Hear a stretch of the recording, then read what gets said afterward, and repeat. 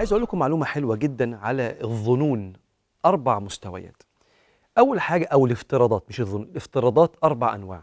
رقم واحد قطعية. قطعية يعني يعني تدرك بالحواس وفيها إجماع عليها. يعني مثلا واحد واقف ماسك لي مسدس أنا شايف بعناية واحد ماسك مسدس وفي إجماع ان ده عايز يأذيني. ما حدش يقول لي ما تسيئش الظن فيه هيموتني. فده بيسموها ظن قطعي. افتراض قطعي.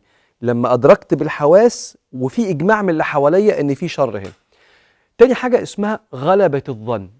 حاجة تدرك بالحواس افتراض يدرك بالحواس لكن ما فيش عليه إجماع. زي إيه؟ زي وأنا وأنت بنتناقش واحتد النقاش بينا قوي قوي فقلت لي كلمة تهني. كلمة ليها معنى إهانة وممكن يبقى فيها معنى مش قاصد إهانة. بس غالبا وإحنا بنتخانق لما تطلع كلمة زي دي غالبا تبقى إهانة. ممكن واحد يقول لي لا ما كانش يقصد. ماشي بس غلبه الظن. تدرك بالحواس ويغلب الظن شبه إجماع عن إن ده غلط. فيبقى يسميك ده افتراض يغلب عليه الظن السيء. يبقى عندنا قطعية وعندنا غلبة الظن. رقم ثلاثة حاجة اسمها ظنية.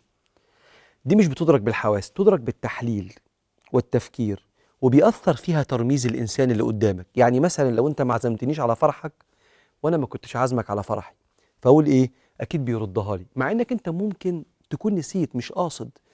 بس أنا إيه عمال أفكر وأحلل أنا ما عزمتوش فهو الطبيعي إنه هيردها لي. ويمكن ترميزك لو عندي إن أنت ممكن تكون بترد الحركات دي أحكم عليك حكم زي ده وأسيء الظن رغم إن أنت نسيت ما خدتش بالك. يبقى دي ظنية. الرابعة اسمها وهمية افتراضات وهمية. يعني كده بدون أي دليل ولا أي حاجة أنا افترضت افتراض. زي مثلا إيه؟ زي مثلا واحد معاه عربية غالية يبقى أكيد حرامي. واحدة مش محجبة يبقى أكيد أخلاقها مش كويسة أنت, جبت الكلام ده منين؟ دي افتراضات وهمية واحد بلحية يبقى متشدد ليه كده؟ ليه؟ افتراضات وهمية دي لازم تتمسح من الدماغ يبقى افتراضات قطعية أو غلبة الظن أو ظنية أو وهمية طيب عشان كده ربنا قال اجتنبوا كثيرا من الظن لأن أغلبها لازم تتغاضى عنها إلا القطعية دي بتبقى واضحة قدام الواحد